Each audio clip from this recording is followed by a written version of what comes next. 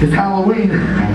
So I want to thank each and every one of you for coming out early, checking us out. You got a million other things you can be doing. You can be any place else in the world. And you're spending it with us. And we appreciate that. Give it up for yourself.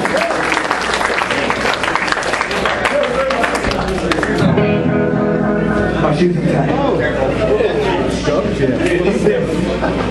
looking out. Oh, that felt personal.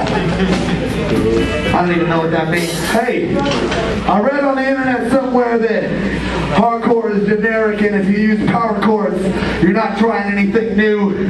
And I don't know, maybe those people are right, but this is the kind of music I love.